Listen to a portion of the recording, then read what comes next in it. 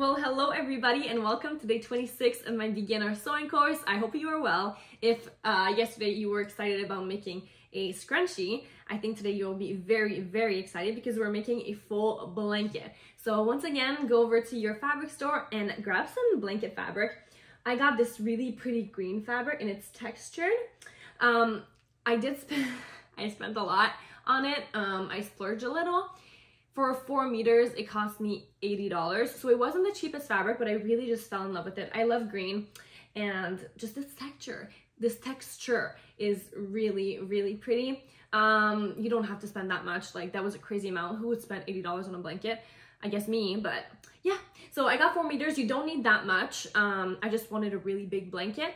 And yeah, uh, the lady cut it in two. So two meters, two meters, just because like there was some problem with the fabric or else I would have gone like four continuous meters, but that's all right. So yeah, I think without further ado, let's get into it. First things first, I know I'm a little chic, but it's because all my sweatpants are in the wash and this dress is just really comfortable and warm. So that's why. Just don't judge the fit. I know I have socks on, but yeah, okay? We're here for the blankie, not for the fit. So let's get into it. So the first thing that you're gonna wanna do is pre-wash your fabric. So I put mine in the washer and dryer for one hour, and that's just to prevent shrinking because I didn't want it to shrink after I sewed it. Now, as you can see, it's a little crooked right here. It wasn't cut very well at the store, but that's fine. We're gonna fix that. On the other side either, um, what I'm gonna do is just place the other side of my fabric right side facing down, and this one is right side facing up. So like both right sides are gonna be touching, which is what you want. And then I'm just gonna trim off like the excess.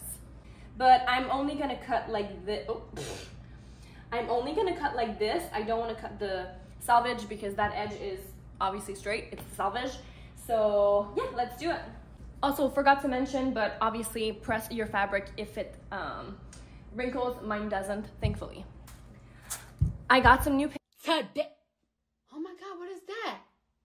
Oh my God, what is that? pins. So yes, we are saying bye-bye to the little cigars and hello to Classe. So this is a lot because there's a lot, a lot of fabric, but it's fine. Don't get overwhelmed. I'm just gonna start by pinning the selvage here. Well, not start because I started with this, but that's what I'm doing now. As I'm pinning, I'm not stretching out the fabric. I'm just laying it flat and letting it do its thing. As you can see, there's quite a little bit of extra, so we're gonna have to trim that off. Okay, so the part that's gonna take the longest, as you probably saw, is just getting all the bumps out. Um, so make sure you take time doing that, but like it's never gonna be 100% flat and that's okay. Um, now the next step is just to take a pair of scissors or your rotary cutter and like trim off the excess. Just make a straight line. I'm gonna get some chalk and draw out um, a line to make sure I cut straight. Doesn't have to be like the most straight line ever. It's just a blanket. Um, but I do think it's gonna help me. So let's do that. Well, screw that. Um, my chalk doesn't appear. So I'm just gonna cut it.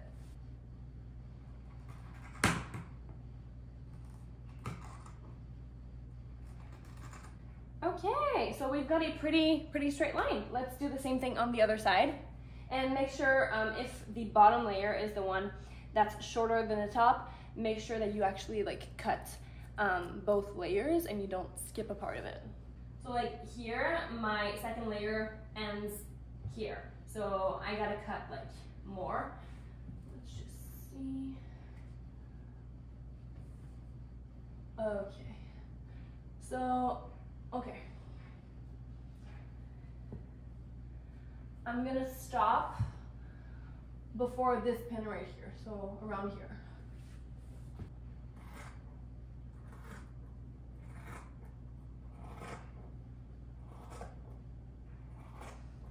There we go. I think that's pretty straight line. We lost a little bit of blanket, but that's fine.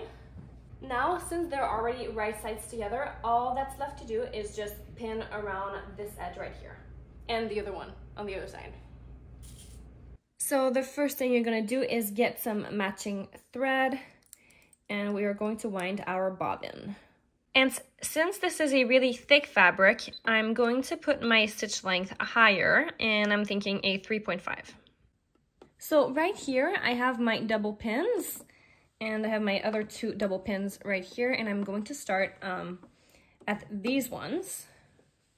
And like I said, I'm sewing using a half inch seam allowance. Start sewing and then back tack. and then keep going.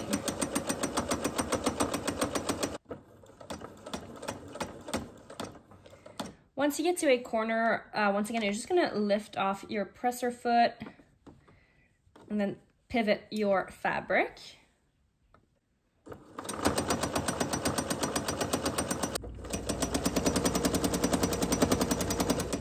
Once you get to your double pins, you can just back tack a couple of times.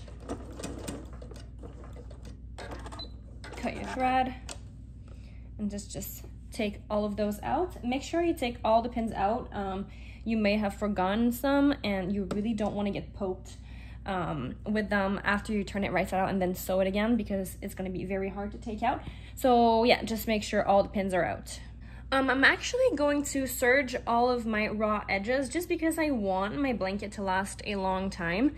Um, you could do just a zigzag stitch if you don't have a serger, or um, you could just completely skip this step. I'm starting um, at the beginning where my first two pins were. So here I have my opening. Make sure you don't um, sew that opening shut. So start here and end here, um, right here.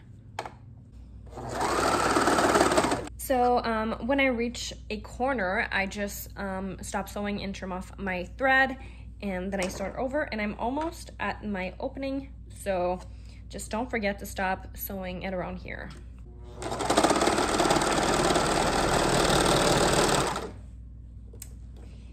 Okay, perfect. Now you're gonna take the opening and pull the fabric right side out.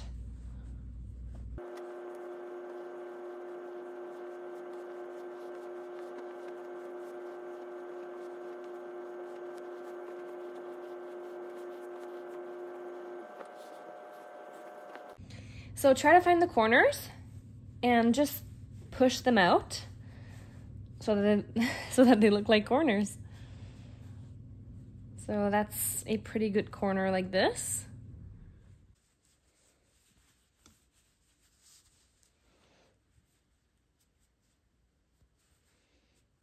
So now you're gonna press your fabric just so like um, the edges stay in place for now because we're going to be sewing a um, border all around. So pressing right now is just going to help that sewing process. Okay, so now what we're gonna do is just sew that opening close. So just fold it on itself and then bring it over here. Once again, I would use a longer stitch length. I'm sticking to 3.5. I'm sewing really close to the edge at about 1 8 of an inch.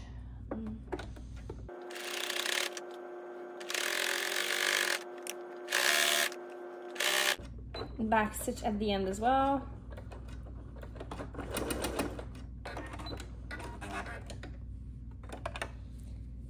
And there you go, pretty seamless. Now the next step is to sew a border all along the um, blanket. So um, I decided to use a border of one inch. I think that's gonna look nice. So I'm just gonna do that all over. Top stitch. Oh, I mean back stitch. Silly me.